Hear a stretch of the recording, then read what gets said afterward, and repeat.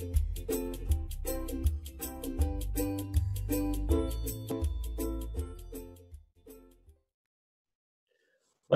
to the final tutorial video for the paper Adjusting for Publication Bias in JASP, Selection Models and Robust Bayesian Meta-Analysis.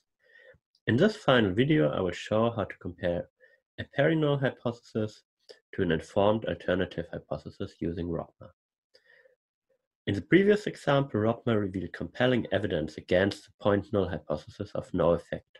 However, it is sometimes argued that a point null hypothesis is not meaningful and it is better to compare to a peri-null hypothesis. In addition, it can be sometimes interesting to use an informed alternative hypothesis. I will now show how to do this in JASP. We again analyze the data of Lui 2015. To specify our peri-null hypothesis, we select models, and then we select Z null priors. Here, for the effect size under the null hypothesis, we select normal distribution with mean 0 and standard deviation 0.1.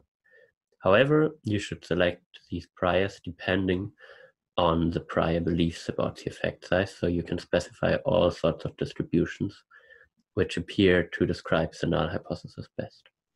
We can also select custom priors for heterogeneity and publication bias null models. However, in this video, we only focus on the effect size.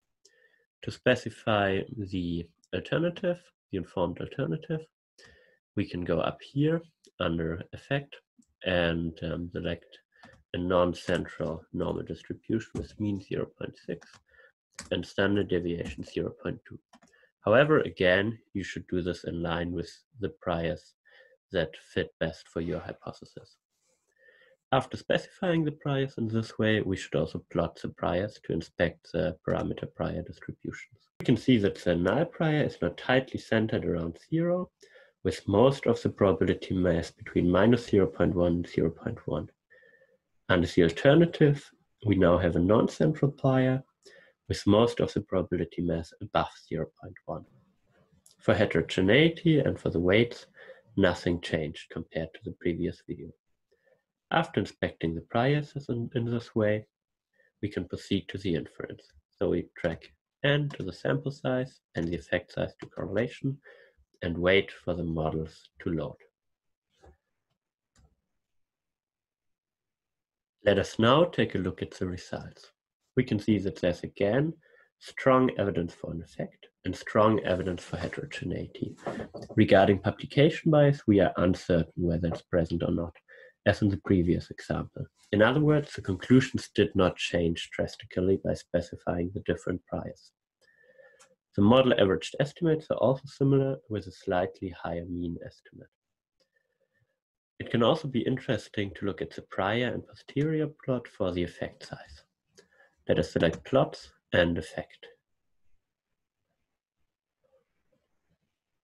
Here we can see prior and posterior for the model averaged effect size.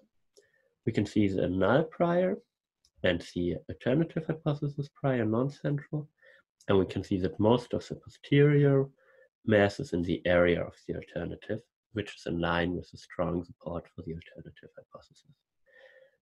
The other options are explained in the previous video with default priors. This concludes the tutorial video series. I hope it helped and good success with fitting your meta-analysis publication bias adjusted in JASP.